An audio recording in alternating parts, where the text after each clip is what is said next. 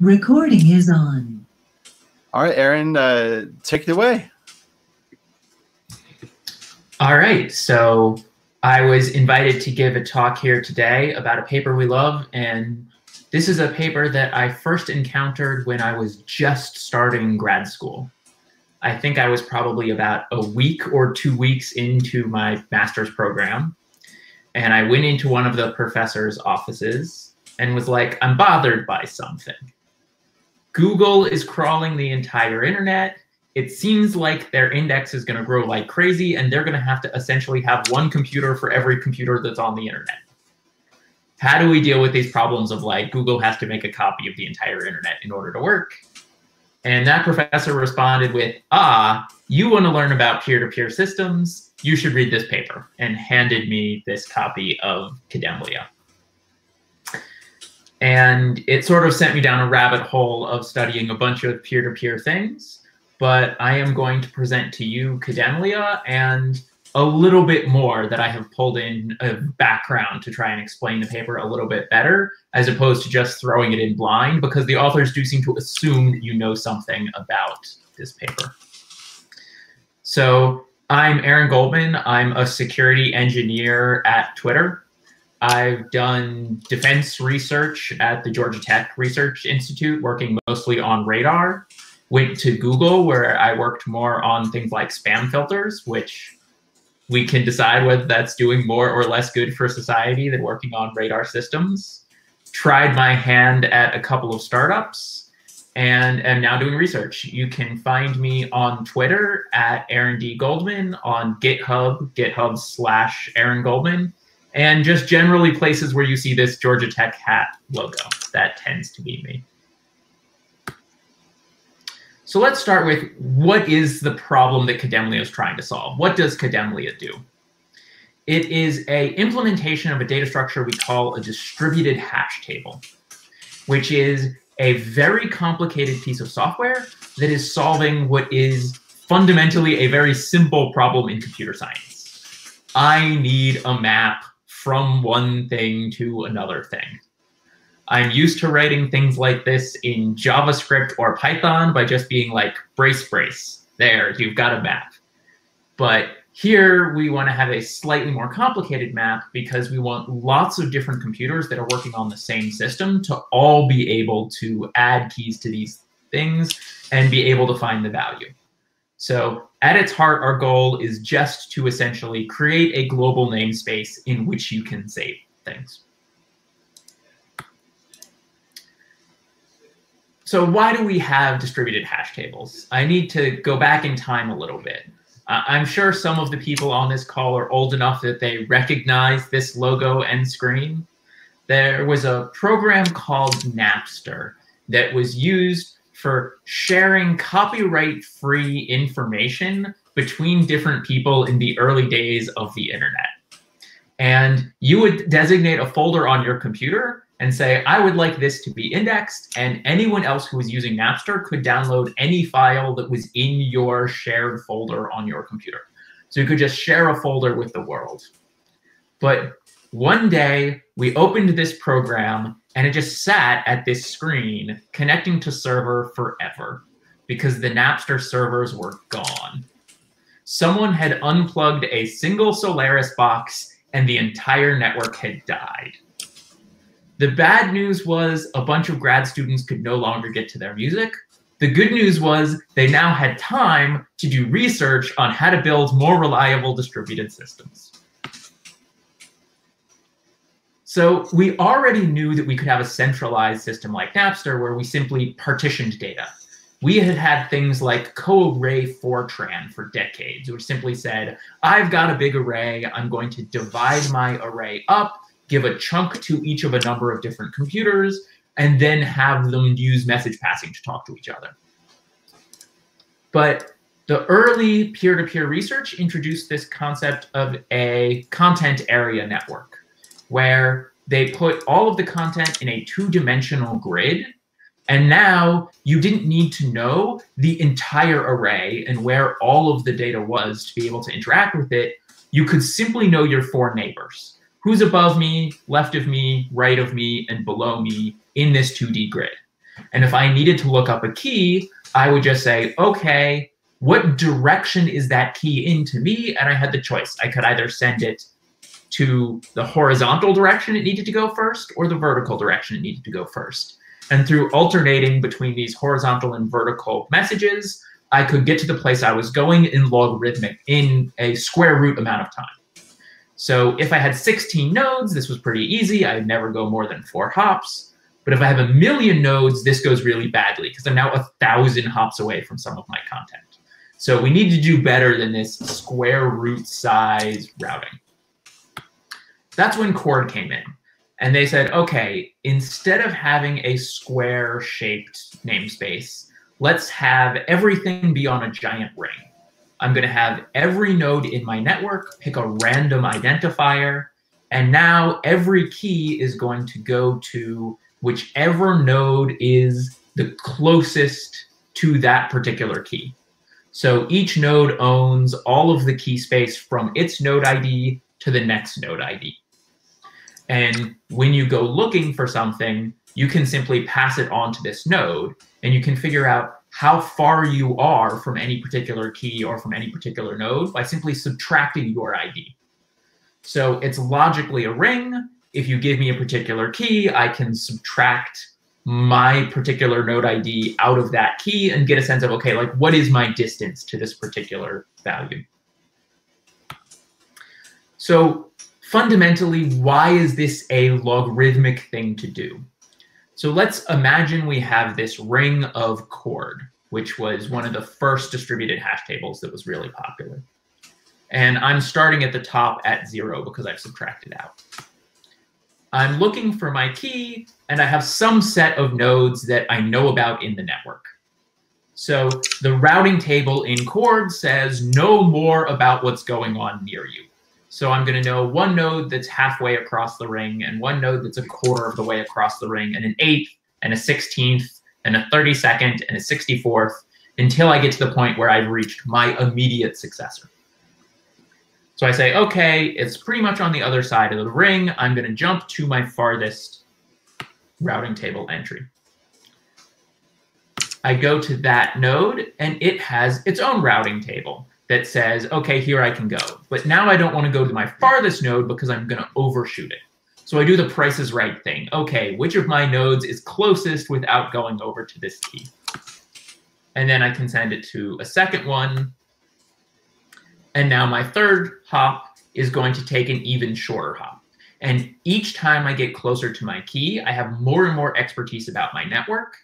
And finally, that third hop is the place where I have found my key. So I win. And I've done it in logarithmic time.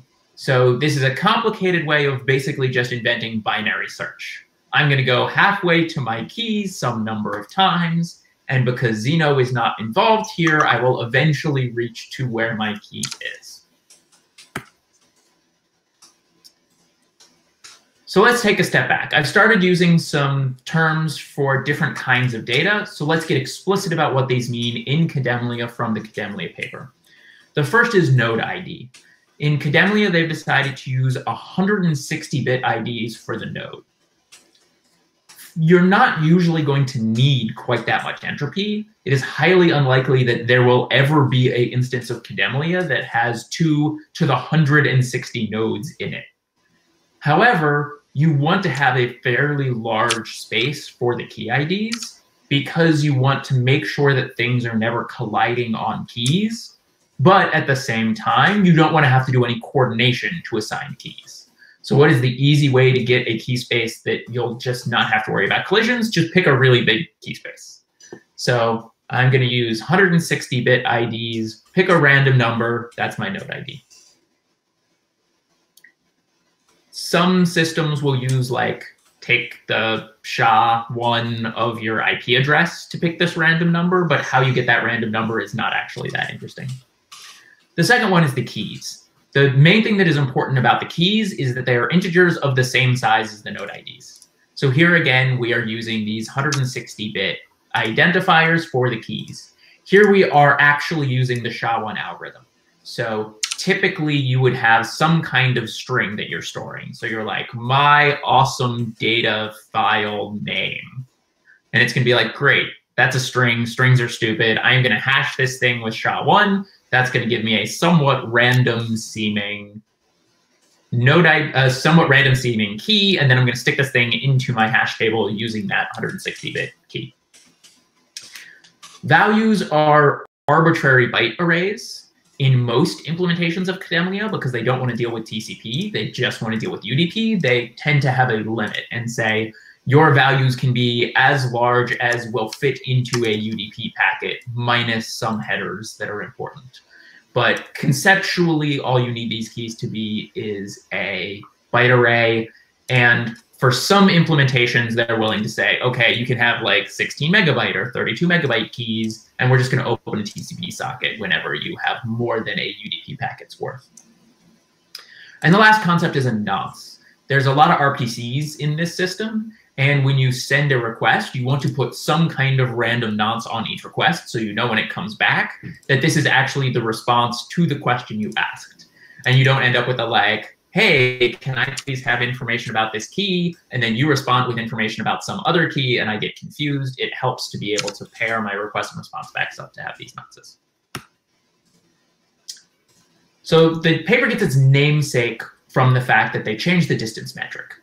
Unlike in Chord, where my distance metric was take whatever the ID of something is and simply subtract my particular node ID from that node ID to get the distance, they say, oh, actually, we can just use XOR for distance.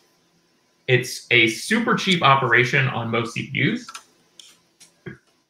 And it does, in fact, give you a lot of the properties that you expect out of a distance. So if I have a distance to myself, well, XOR with yourself, you get all zeros. You are zero distance from yourself. That seems very convenient. If you are any other ID that is not yourself, you're going to get a distance that is greater than zero. When you have one distance, it is symmetric. One of the problems with the subtraction metric is A minus B may not be the same as B minus A. So you end up playing these games with like absolute values or wrapping things around to get it to play nice. Whereas here, you can just do your XOR and you know that A XOR B will always be the same as B XOR A. And you get this nice triangle property. So you'll never have a time where going from A to C to B is going to be a shorter distance than going straight from A to B. You can have points that are along the way, or you can have points that are out of the way, but nothing will ever shorten the distance that you're using. So this triangle equality enables you to use this to find the best path through some particular system. The other advantage here is all of the distances are going to be unique. If there is a key, there is always going to be a node that is the node that is closest to that key. Logically, this makes sense because I can think about, say, all of the distances clearly the number of possible distances in this system is going to be from 0 to 2 to the 160 minus 1. And if I simply were to XOR any distance with my node ID, I would get the thing that is at that distance. So you get this advantage of a totally orderable set of distances. For any key, the nodes have a total order, and for any node, the keys have a total order. And that can become convenient logically they describe it as not being a ring, but as being a tree. So if we imagine the node that is at 0011, if it needs to route to a different part of the network, it simply needs to know one node in each of the groups where we have circles here. So it has to know explicitly about 000, but it only has to know about a single node that starts with a 1 in order to have this binary search property of when I take my first hop, I now get into the right part of the network. And again, just like Chord, we have more expertise on the pieces of the network that are closer to our node.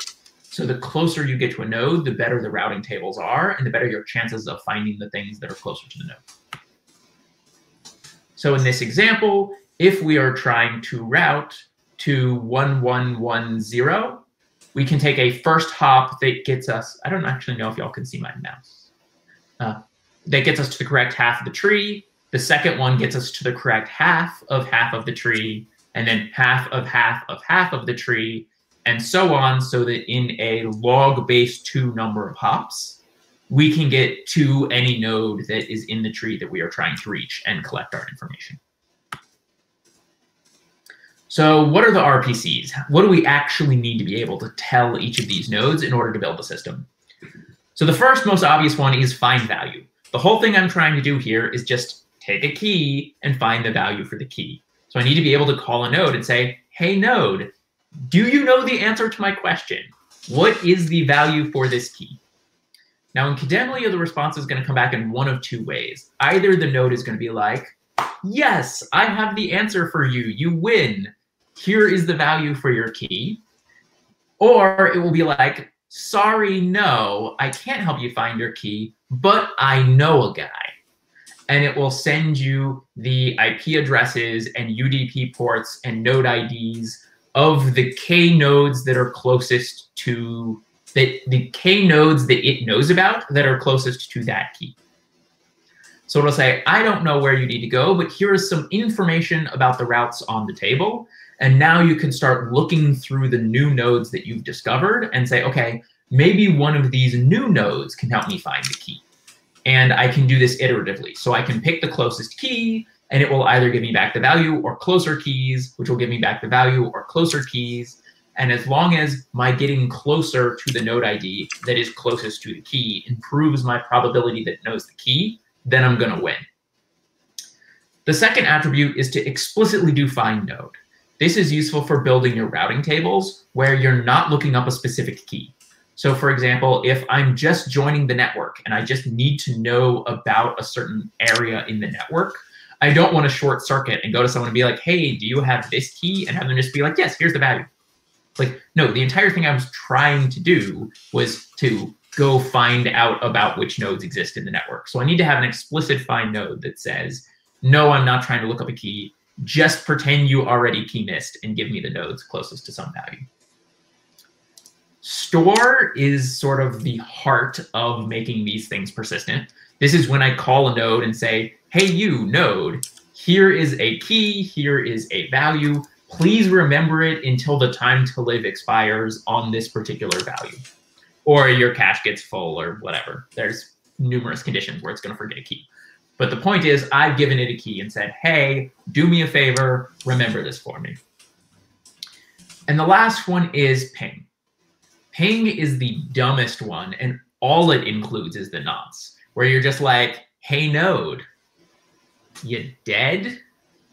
And it comes back, and it's like, I am not dead. Here's your nonce. I've proven to you that I am still here, and if you send things to my IP address, I can respond to you. And this is very useful for building your routing tables. You never want to believe a node who just shows up and's like, hey, I'm a node. I'm at this IP address. You should totally start sending traffic at me because that's just someone who's just trying to DOS someone off of the internet. If there's going to be potentially millions of these nodes on the internet, you don't want to be able to have someone bounce things off of you and just hammer some server. So you only want to believe that someone is really on the web once you have sent them a ping and they came back. Now, you get a secondary effect that pings work, that all of the other three RPCs work as pings because they all have nonces in them. So you can trust any of them, but there are some times where you just need to keep things alive. So the next step is the routing table. I've mentioned a few times, like, tell it about the node that you know that's closest to it. Well, how do you store this information about the nodes that are closest to it? And the answer is we are going to keep a set of different rows in this table. So in a early scenario where you know about less than k nodes, uh, usually 20, you're just going to remember all of them. There is no point in forgetting any node ever if you only know about 20 nodes. If you have a network where the entire distributed system is only 16 nodes, they might as well all know about each other and route perfectly to the one who knows what's going on best. But as the number of nodes starts growing, let's say you had 100 nodes in the network or 1,000 nodes in the network, now you want to play these games of I have more expertise about pieces of the network than other pieces of the network. So if I start with zero, then I'm going to say everything that starts with a one, I'm going to throw into one bucket. And once I know 20 nodes that start with a one, even if I can't discover new nodes that start with a one, I don't care. I'm only going to save up to 20 in that half of the grid. And then the ones that match one bit with me, I'm going to store up to k nodes. And once that's full, once the ones match with two bits with me, then I'm going to store up to k nodes. Now, logically, this could be 160 nodes deep inside this tree, but we don't actually get there because we say for the stuff that's closest to you, I'm just going to have a catch-all bucket that's remember the k nodes closest to me is the bucket at the bottom, and I only add more buckets as things get full. So if I have a network that starts very small, as it grows, I'm only going to have to allocate new memory each time I need a new bucket to fill. And then I'm going to split, okay, here are my k nodes closest to me. Some of them are going to go into my new bucket, and some of them are going to stay in this like k closest nodes to me. So the replacement of entries. The protocol is fairly straightforward. If I discover that a new node exists and I don't know about k nodes at that distance, just save it. Like simple, easy. Send it a ping, prove that it's alive, store the thing. If someone arrives who is new to me and I already know about 20, now I need to make a decision. Do I want to keep the 20 nodes I know about, or do I want to replace one of them with the new guy? And Kademlia has this rule, which is respect your elders. The thing that you've known about long enough that is still alive is likely to still be alive. We really want to trust the nodes we already know because otherwise we're going to have someone who can come to us with attacks and say, hey, I'm this node ID. Okay, now I'm this node ID. Okay, now I'm this node ID. And just replace your entire routing table. And then once they're the only person in the world you know, they start ignoring you and you're disconnected from the network. So to prevent attacks, you want to trust people who've proven themselves by being trustworthy in the past. So when a new node shows up, you go to whichever of your 20 nodes in that bucket you haven't heard from in the longest time and say, hey, you dead? And if they're not dead, they get to stay on your list. And if they are dead, then you have an opening for a new node to join and be cool in your network.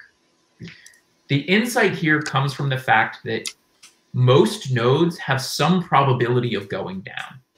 So if we imagine that there are different kinds of computers in the world, so let's say some of them are really small computers that are run on batteries and use wireless connections so that they're moving from one cell to another and have very spotty network connections.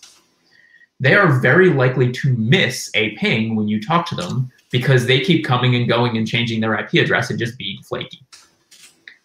There are other nodes that are like built into metal racks with hardwired internet and redundant power and dedicated SREs who do nothing but make sure those computers are up all the time, they tend to stay up for very long periods of time. And we can learn this by just saying, okay, however many hours it's been since this thing failed to respond to one of my pings, that's probably how reliable it is. Things that go down once an hour will probably never have been seen by you every day for a year and things that are staying up for years are not likely to go down in the next hour. And you measure this empirically from a number of different places and come to the conclusion that this is actually really powerful. Respect your elders is a good way to build a much more reliable network. This is the description that I covered a little bit prematurely of start with your buckets and only once a bucket fills up do you then split and go down the tree. So you don't want to just immediately split everything. You're going to end up wasting memory. You want to keep your tables pretty dense. But at the same time, you don't want to just keep everything in a static array. You want to be able to add new things to your rows. So split the buckets when you need to. And when things are close, here's an example of sort of a relaxed tree where you're storing more things that are sort of chaotic as you get close to you. For your k closest buckets, just remember them all because you need to have the maximum expertise on the stuff that's near you and the structure of the network will break down. If there's a million nodes in the network or a billion nodes in the network, you're very likely to have a nice uniform shape near the top of the tree. When you get to the very bottom of the tree, that's where randomness is going to take over. And like maybe it's a little deeper on one path and a little shallower on another path. You don't care. So the next question is who do you call? So in a network like Chord, you always called the node that you knew about that was closest without going over. And this led to serious performance problems because what if the node that is closest in the key space is actually in Australia? And now you are sending these long ping times away and long ping times back. With Kademlia, they said, okay, let's play this new game, which is called figure out who's got the shortest ping time by pinging everybody at once. So you pick an alpha metric. They usually default this to three or five. And you just say, I am going to ping five of the K closest nodes. And whoever gets back to me first gets back to me first. And whoever doesn't get back to me first, who cares? Maybe they're in Australia. So now if there's one computer that's in the same rack with me and one computer that's in Australia, I don't find myself waiting for the long ping times. I can just get it from the person who's closest to me. And this dramatically speeds up the system. One of the optimizations that's not in the formalisms of the paper that they use for proofs is you can actually measure the ping times. You don't have to pick a random three of the k closest nodes, and you don't have to pick the actual alpha closest nodes you can say, I'm going to pick the three nodes that I historically have seen the lowest ping times to. And if I am explicitly picking the fastest of those, I can very quickly get through the beginning of my tree because frankly, a lot of people have similar expertise. So if I now have a rack that's got lots of nodes in it, I should get that win of using all of the routing tables of all the people who are in the same rack as me, get that efficiency, and only after that, when I really need to go talk to someone who's far away, talk to someone who's far away. So this is just the rule of five, which is roughly about statistics. If I pick a random sample of five things, there is a 93% chance I'm doing better than the median. Like it doesn't take a lot of these. Just picking the three fastest nodes of 20 means you get much, much better latency even though the actual lowest latency node to you may be anything in there and hard to find, this sampling works really well in practice. Okay, so how do we join one of these networks? You start up your computer, you would like to start doing lookups, but your routing entries are empty. So we begin this process with know that some node W already exists. This is the node that you discover by miracle. Either someone gave it to you as a command line argument or when the last time someone did a build. So we used to see uh, BitTorrent clients that would check the hash table and see what were the 10 nodes that have been up longest and been most reliably pingable and build that into the binary every time they ran a build. So they would go and be like, who's the healthiest 10 nodes? Great. You all get baked into the binary that we are going to ship. And now when the thing wakes up, it's going to call the 10 most reliable nodes and start. People stuffed these in DNS records, tried to use multicast DNS. Like there's a bunch of tricks here for how do you find the first node, but essentially first node appears by miracle. Fun. Now I insert the first node into my routing table and I start doing my routes and say, I would like to look up my own node ID. Hey, node W, who's the K nodes closest to me? And I will hear back from them, stuff all of those guys into a replacement queue, and start pinging each of them and be like, hey, who are the nodes closest to me? Who are the nodes closest to me? Who are the nodes closest to me? And they're going to give me more nodes that are even closer to me. And this is going to fill out my tree because logically, as I go through it, I am going to find more and more nodes. And as I get closer and closer to me, I'm going to find nodes that know more and more about my area of the namespace. So now this is going to naturally populate me with just the kinds of routing tables I need. Meanwhile, because I have pinged these other components and said, hey, I'm a node and I exist, each time I do one of those requests, I've now informed them that I exist. So they're going to piggyback a ping. So I'm going to message them and they're going to send me a whole bunch of nodes and I'm going to send back a ping. And now I'll have done the full handshake and I can add myself to their routing tables. So not only have I populated my routing table by doing this, I have also inserted myself into routing tables all over the network so traffic will be able to find me. And then when I'm done with this process, I go through and I refresh each node and say, okay, these are the nodes that I have decided to bless as being my k closest nodes in each bucket. I'm going to ping each of them, make sure they're all still alive, and none of them were like total fluke bit errors. I added someone. And now I'm solidly in the network, and the network is solidly in my node. Okay, so getting a key seems like the logical next step after joining the network. The search is pretty simple. The first rule is you terminate the search when someone gives you the value. Once you've found the value, you don't need to keep searching for the value. You've already won. The second rule is locate the k closest nodes that you know about and pick ping the alpha of them who you think can answer your question. Now, one of two things will happen. Either they'll answer your question, or they'll give you new nodes that are closer to your destination that you can check. Most of those nodes aren't going to be nodes that you're actually going to add to your routing table because your routing table is already full and those are new nodes that you're just discovering and we trust old nodes first. Once you have found your thing by having gotten close enough to that where the key lives, you say, okay, who's the like one up? who told me about this node that actually found me my key, I'm going to send a store value to them. Now, you could imagine someone saying, oh, well, if I want a good cache, why don't I give it to the whole line of everyone who helped me find that node? And the answer is it's unnecessary because the key is either hot or it's cold. And if the key is cold, there's no point in caching it all over the place. And if the key is hot, someone's going to show up behind you and they're going to start checking and they're going to find the node that you had cached one node farther away from the key. And they're going to move it up by one.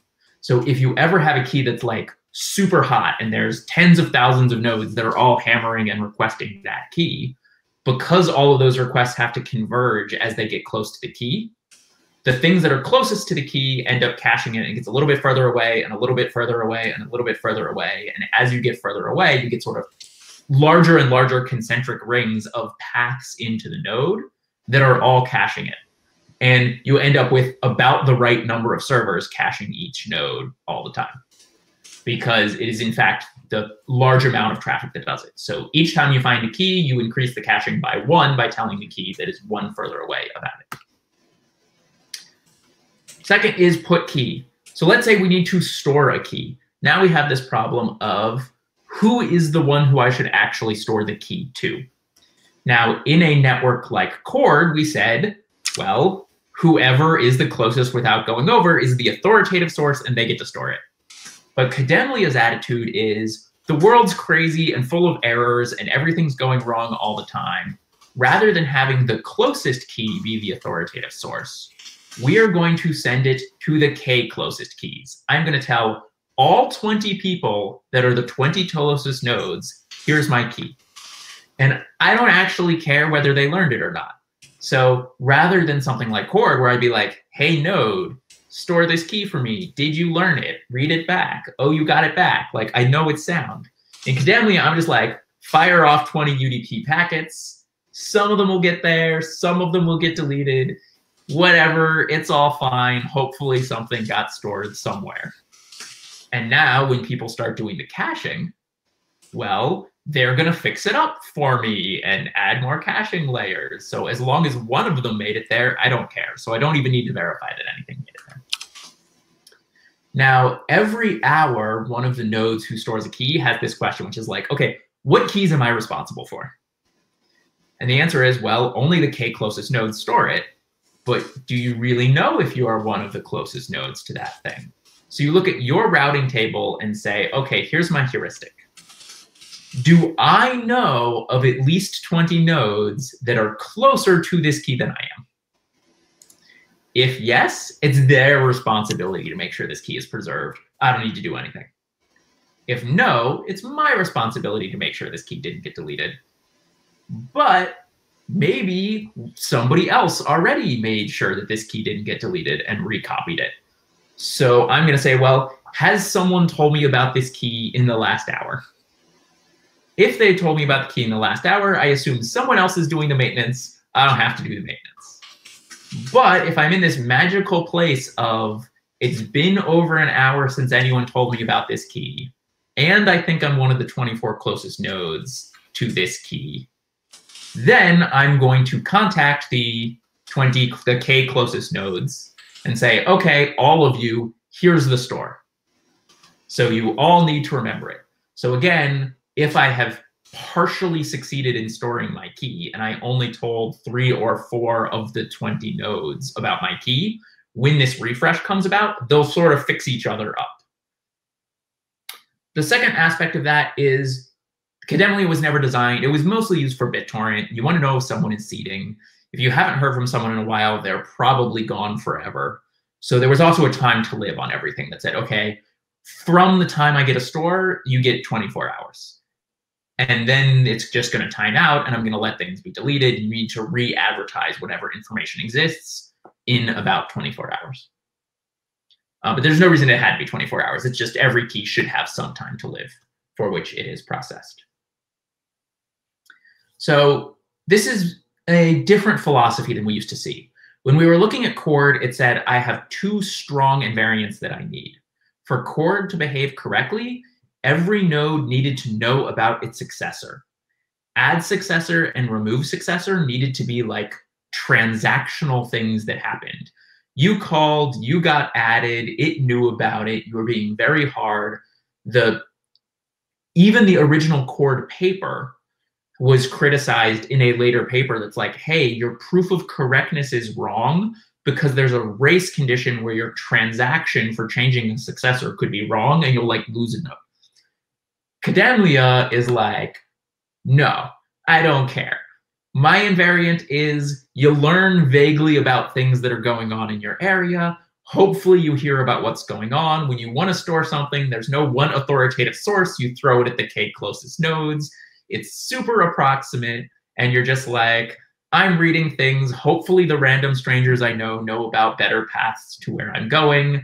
As paths disappear in the network, I just fall back to some of the other alpha nodes to respond. The whole thing is just very loose and crazy and not very reliable at any point but at the same time, using redundancy to get the reliability. It's easy to find paths, even if a node went down, because I messaged alpha nodes. It's easy to find a stored copy, even if the node that was closest went down, because I stored it at k nodes. So the invariants are much weaker. And because there is a total ordering, as long as each node I talk to knows about a node that is closer to my result, I can always manage to make forward progress. So the paper starts by saying, we, if you want to have it be a logarithmic time constraint, you do in fact need to know about only a single node in each of your buckets is enough to give you logarithmic. But if your constraint is violated in some places, that's kind of okay too. Like make some progress, don't earn another bit, but move in some way closer to the destination. Hopefully that person has a road that is a little bit better. So you can sort of, you burn a hop for every time you violated the constraint rather than giving up the correctness of the algorithm. So the next question we ask is, okay, so we can do this in log base two, but like, if I have a trillion nodes, that's like 30 hops, 40 hops. I don't really want to do 30 or 40 network RPCs to look up one piece of data. Can we do better than this? And the answer is yes. We could, in fact, do this one bit at a time and do all the trees and do everything as I've been describing it so far. Or we could say, rather than thinking about bits, I'm going to think about collections. So let's say I take five bits at a time and I'm going to do this like base 32 encoding of the node ID. I'll grab the first character and say, did this match? If it didn't match, rather than simply jumping to the right half of the tree, I jump to the right 32nd of the tree. And I now keep a new bucket, not just for each how many characters did you match, but for each what is the next character in the character where you first don't match me. So this takes a lot more space, but also it makes the number of rows you have shorter. So it's actually only about six to seven times as much space to make the thing be log base 32 instead of the log base 2. So dramatically shorter trip times. But your routing table gets better. So B is the parameter for how many bits at a time you want to do this. In most production uses of Kademlia, B has been set to 5. That seems to be the right answer. I can't tell you whether 32 is genuinely the right fan out to have here, but I can tell you that it is a better choice than 2 and it is a better choice than 2000. So like fine, you know, 3264 probably doesn't matter much. And the routing table sizes aren't that large. So if you compare it to something like say Chord or the CAN network that we talked about at the very beginning that was just the big square, then these routing tables seem huge because that was like guaranteed to have exactly four routing entries at any time. But it's only about, so if we make the assumption that for each entry, I need to store the 20 byte ID and an IPv6 address that's like 16 bytes and the UDP port that they're talking on and some kind of round trip time. So maybe two bytes for the number of milliseconds it took me to talk to them and I can set something like, well, for the top number, instead of being 65535 milliseconds, we'll just like call that infinity and be like, yeah, you never responded. Um, now I can store in 40 bytes who I'm talking to, where you are, what your ID is, and if you are stale. If K is 20, as I suggest in the paper, and B is 5, as they suggest in the paper, you only need 25 kilobytes for each layer. So each time your network gets 32 times larger, you use another like 25 kilobytes of memory to store the routing table. In our large scale systems today, like we've just got the memory. So we might as well store these routing tables and get all of the reliability and performance we get out of having these larger routing tables. Um, to give some realistic examples, 32 million is about the number of nodes that are connected to the BitTorrent network at any given time. It's usually between 1 and 32 million. And a trillion nodes is the rough estimate of the number of CPUs in the world right now. And even that would only be about 200 kilobytes. So in theory, we could do true internet scale Kademlia, where every node on the internet was using Kademlia instead of DNS, and we really wouldn't blow up these tables. This is my one commercial slide in this talk. Uh, if you have enjoyed my description and you would like to work on large distributed problems where we care a lot about reliability, you can contact me and I'll talk to you about the job openings we have at Twitter in building large distributed systems. And with that, I would like to open it to questions. Is there any questions about Kademlia or the performance of Kademlia or ways that we would like to attack this? or just generally? I should have pointed out the link to the slides is in the bottom corner if anyone is uh, interested in following along with the slides. Thanks, Aaron. Well, first of all, I want to say awesome talk. This is it's really fun uh, to uh, to see all this. It's super super cool, um, uh, well explained understanding of how uh, distributed hash tables work in general. Uh, one of the things you mentioned was uh, in most implementations of uh, like this is a five seems to be the right number. I, I was curious from that, how many different implementations uh, are there out there, either open source or uh, that you know of uh, in that, that are in commercial use today? So I know there is one implementation in Python that's pretty popular. and there was one implementation in C that was written by the like BitTorrent company. Um, I believe it goes by the name Mainline DHT. And it largely got incorporated into a number of different projects. So most BitTorrent clients you get today have the same C implementation. It had a interesting quirk, which was that the mainline distributed hash table at first was being used by MicroTorrent and Azureus and the BitTorrent official client. And there were three separate hash tables. But Azureus has a plugin system, and someone wrote a plugin to be like, hey, I want my BitTorrents to go faster. So also check the microtorrent and BitTorrent distributed hash tables to see if you can find any seeders there. But they didn't isolate the code very well. So it started advertising things it would discover on one of the hash tables to the other two hash tables.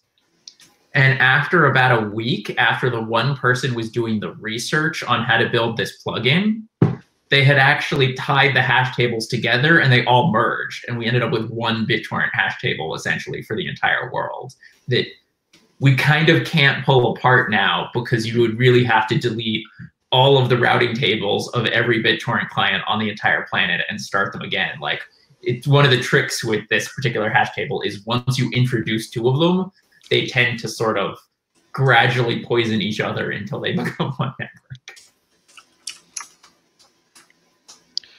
So there is real value in the fact that they all used the same code base. Or if a new one is doing it, if you make things that are really compatible choices with other people's hash tables, you can really bake into them. I am very curious about um, maliciously chosen node IDs.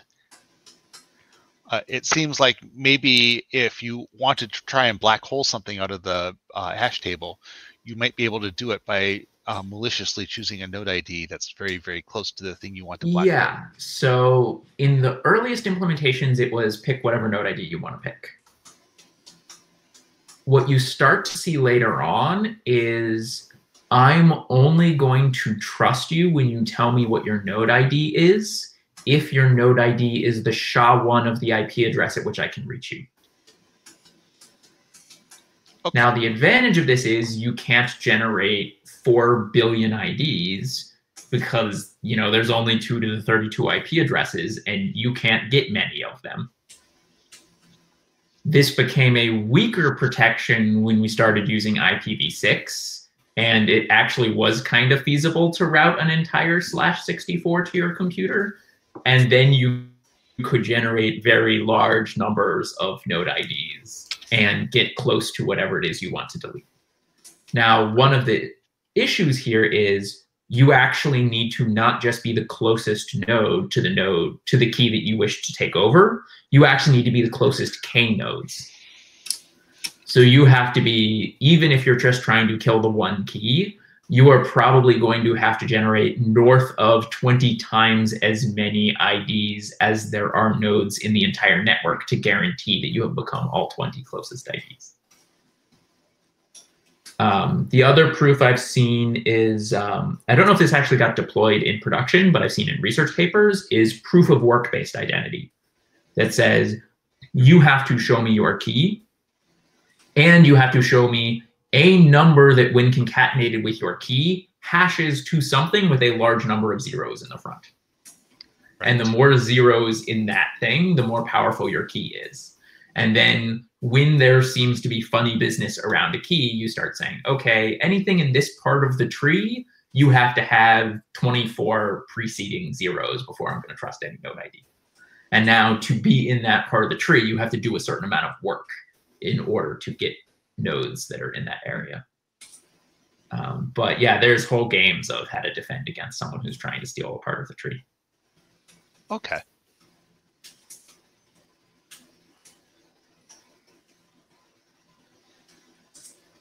Other questions? Do people feel like I gave a fair history of it? I feel like I spent a lot of time talking about Chord for a talk that was supposedly about the Kademlia paper, but I actually like uh, when when you dig in or when folks dig into the history behind a paper, especially like looking at the at what you know where it came from, because you know a lot of times with with academic papers you uh, uh, the like, like you said at the beginning of the talk, uh, there's assumed knowledge, right? So like going into a little bit of the detail of that assumed knowledge is helpful. Yeah, I just find that so the image that I have on the screen now with the multiple hops to get to the right part of the tree, they talk about how XOR is a much better metric because you can think about like neighborhoods of the tree rather than having the ring. But in fact, the thing that they're using XOR for is figure out a distance between you and the node and send it to the node that's closest to where you're going. I feel like the ring is actually a much better analogy for that. That's like, yeah, I'm just getting to the part of the ring where the key is. And whether you're using subtraction to get a distance from the node or whether using XOR comes out roughly the same, except that XOR is obviously a lot cheaper than subtraction because you don't have to do all the carries. They're actually um, exactly identical uh, in a certain respect. Uh, group theoretic uh, gets into group theory. Uh, XOR and subtraction are basically the same operation, just in different groups. Yes, group theoretically they are equivalent, but the carries cost you voltage, so you will draw less power if you are doing XOR. Yes, one is one is cheaper to do than the other, but from a yeah, it's about half of, the NAND right. gates, but it's the same complexity. Yep. Which is weird. actually- you can have things that are perfectly identical complexities, but different numbers of AND gates. But that's Right. just my own head not wrapping around things nicely. I was talking uh, identical in terms of usage as a distance metric. Ah, yes. Going back to the original question, I'm actually in uh, advanced distributed systems class now, and we recently went over Chord. So seeing you compare and contrast, contrast against Chord was actually really helpful for me to understand this. Thank you. Yeah, the main thing that is the reason why Kademlia won is the like B at a time routing, which interestingly is a adaptation that you can do to Chord also, like in the same way that here is my um if I have the like here's my thing that's halfway across and thing that's a quarter of the way across and thing like I could have 32 that are one 30 second across and two 30 seconds across and three 30 seconds across, and then have my one that is a quarter be 32 in this piece and then 32 in the next piece. So you actually can pull the exact same trick on Chord. It's just that looking at the XOR metric and prefixes, it was obvious that that was a thing you could do. And looking at the subtraction, it was not as obvious that it was a thing you could do as well as the fact that when Kademlia paper came out, no one cared about using hundreds of kilobytes of data to store the routing table because like would you notice if your computer had 100 kilobytes less memory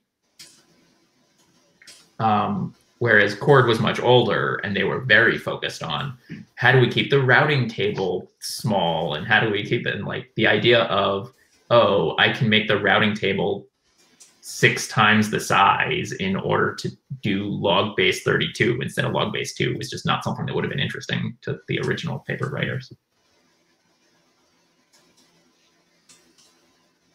I will say, uh, I've talked for a while about I kind of want to make a version of Chord where instead of the authoritative node being the closest node, the authoritative node is that the closest node is the leader and the four nodes before it are the consensus group. So you can actually like do Paxos or Raft and real transactional ACID correct versions of that.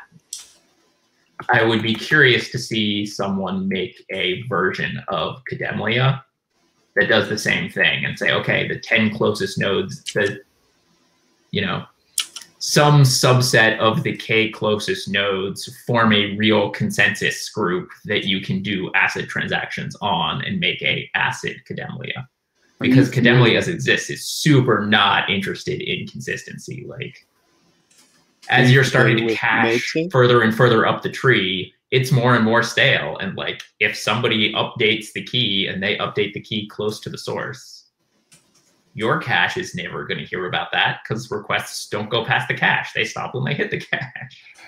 Basically, there's no delete or replace operation that's uh, at all reasonable in Kademlia. Um, depends what you mean by at all reasonable. um, so they do have the heuristic of you should consider your cache stale after 24 hours, but if you're one hop away from the best place, you should do it in half of that. And if you're two hops away, a quarter. And if you're three hops away, an eighth. So if you, instead of being one of the K closest, you know someone who knows someone who knows someone who's one of the K closest, then you're only actually going to cache it for about five minutes. Which at first seems crazy because you're like, you won't be able to do atomic updates. And on the other hand, you're like, wait, that's just DNS. yes. Um, Microsoft has a bunch of papers about consistency where they talk about it is really the requester who should say what kind of consistency they want.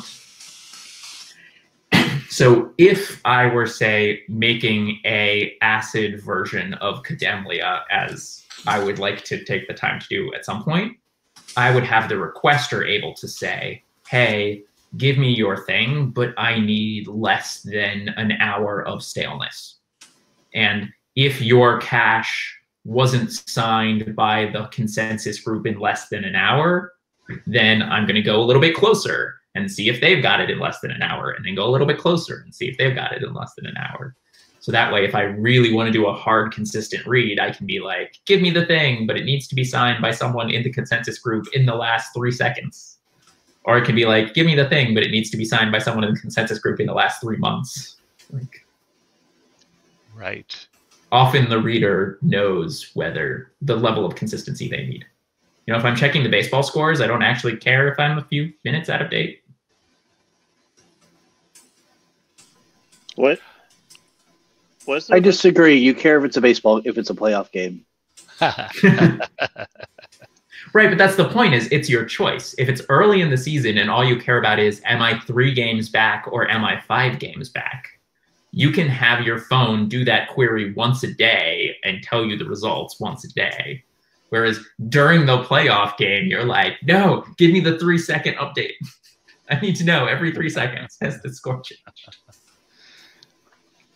Why put all the stress on the network of doing these like atomic consistent reads when frankly most readers don't care? Was there much tweaking of this algorithm over time? Um, I think you mentioned like part of the reason why they had new versions of the software was to just to embed uh, some of the highest uh, highest uh, nodes that have been around for the longest period of time periodically. I was curious, um, was there amongst say the different BitTorrent implementations, was there a lot of tweaking of the parameters, or what do you know about that? So pretty much everyone agreed on um, K should be 20 and B should be 5. There was less agreement on alpha should be 3. There were some people who were like, I'm just going to ping 5 nodes at a time and get more reliability, even though I'm going to consume more bandwidth. And I think there's one of them, although I don't remember which one, that starts with pinging just the lowest latency one and was like, yeah, the, the person with the lowest latency tends to also have the lowest error rate. And why am I bothering with all the rest of this stuff? I just want to do one. And then if that fails, three. And then if that fails, five. Um, there was a paper that talked about storing a reliability score with each node that you talk to to be like, this node responds one in four times, and this node responds one in five times, and this node responds one in 20 times, so that you can add up nodes until you get to a certain probability of getting a response back that is the level you need, which turns out only to have been useful for NASA in sending messages between planets and not particularly useful for the internet. Um, but a lot of that technology never really made it into Kademlia, but did make it into IPFS as it is used by NASA.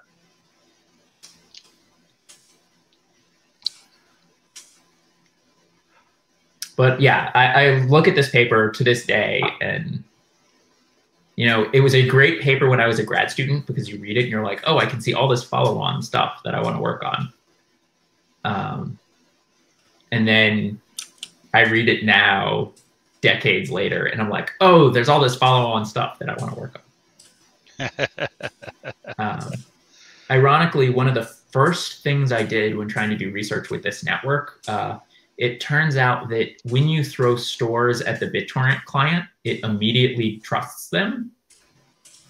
But if you respond with something that is malformed, the thing that you gave the answer to will call you back and be like, hey, dude, you gave me malformed data. Delete that bad key. And it will delete the bad key, which means you can put malformed garbage into mainline DHT and it will just live for a couple of hours until somebody stumbles across your malformed data and deletes it. Um, so I did some research on like how can I make self-deleting emails where I send you the email and if you open the image within the first 24 hours, then you'll be able to decode it because you'll be able to pull the key out of mainline DHT. But if you've waited between like 16 and 36 hours, there's a good chance that somebody noticed the corruption in the hash table and deleted the corrupt keys. And now you can't open my file. So I get a like self-deleting if you didn't open this in time you never will be able to open it because i poisoned the hash table um, which then later the irb was like um, no you can't just like poison other people's public goods so that you can get your paper which was like oh fine maybe we should stop the recording before i continue that conversation Yeah, I, I can I can stop it. Uh, Well, before I stop, I want to uh, thank you so much again for uh, for this great paper and uh, see if I can uh, recruit other folks to to give papers. Uh, check it out. This will be on YouTube. Uh, the first one's already up. Uh, and again, thanks so much, Aaron. Yeah. Stopping now. Oh, by the way, if you were looking for it, there is somebody else who did finish that research and publish that paper. So if you want to know about storing data temporarily by poisoning Kademlia, Wasn't that